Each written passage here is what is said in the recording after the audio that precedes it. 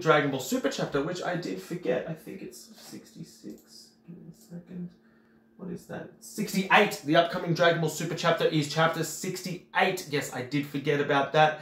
And as I said before while I was doing the Boruto spoilers, please make sure to subscribe, like the, uh, the video as well. Also follow us on Twitch because I do this live and you can actually comment live and you can also comment now because I will reply to you. I want to know what you guys think.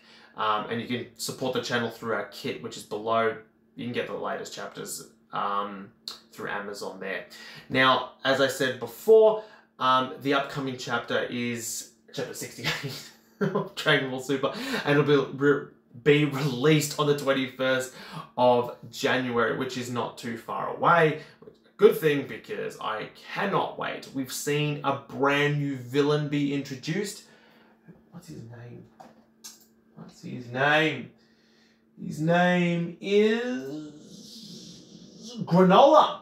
We've seen a new villain introdu introduced in Granola in the Dragon Ball Super manga, um, and that's going to be bringing about the next arc. Now, there's a few theories. I've I actually think both are valid. Granola could potentially be an angel, which would make sense, a fallen angel or an angel in training. But something tells me that's not the case because angels, in theory, if they tamper with mortal events, get their powers stripped, which we've seen in the previous chapter. We've seen that as Merus is alive. And it's just that he's a fallen angel and he's had his powers stripped, but he is alive and well. It's possible that if Granola was another angel who did something like Merus, and the Grand Priest saved him, and then the Grand Priest stripped him of his powers, that Granolah would be a fallen angel. That's that's a possibility. And as I said, I thought this this chapter would actually be the start of the angelic arc, but it doesn't appear as if the Grand Priest is actually as mad as I expected him to be. Upcoming chapter will at least tell us a little bit more about Granolah's intentions. Um, now we do see him breaking into uh, a very secret facility, trying to get, trying to bust out 7-3, which is kind of ringing some alarm bells as that would essentially make him almost as strong as Moro again, or pretty OP regardless. Um, and maybe it's possible that he is a fallen angel trying to get back some sort of strength, and by taking 7-3, it would enable him to regain some sort of power. Possibly.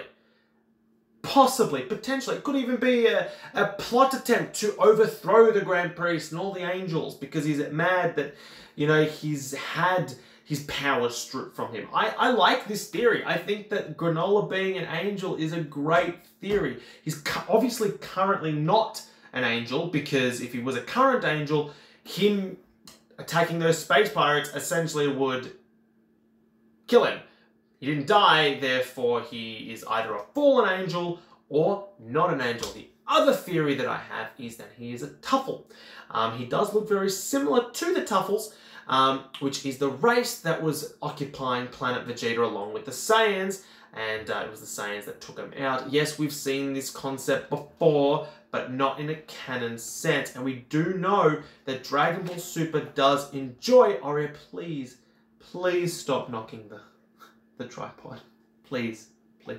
My dog just keeps knocking the tripod. The Tuffles have been explored in non-canon content. We've seen it in the Dragon Ball Z uh, Raging Blast 2 video game anime short. We've seen it in Dragon Ball GT through Baby Vegeta. The Tuffles returning to enact some sort of revenge against the Saiyans who wiped them out. The Tuffles were an advanced species while the Saiyans were just really super strong and that's all they really had going for them. So there's a good chance that Tuffles were on other planets because they had access to, well, spaceships and outer space. I mean, why would all every single Tuffle be on planet Vegeta when the Saiyans attacked? It doesn't make sense. Even all the Saiyans weren't on planet Vegeta when Frieza blew them up, so why would a more intelligent race fall for the same stupid trick as the Saiyans? So it would make sense that he could potentially be a Tuffle, and Tuffles aren't that strong. So if he was to if he was to use 7-3 and gain a bit of power, he might be able to match some of the Saiyans and enact some sort of revenge as well.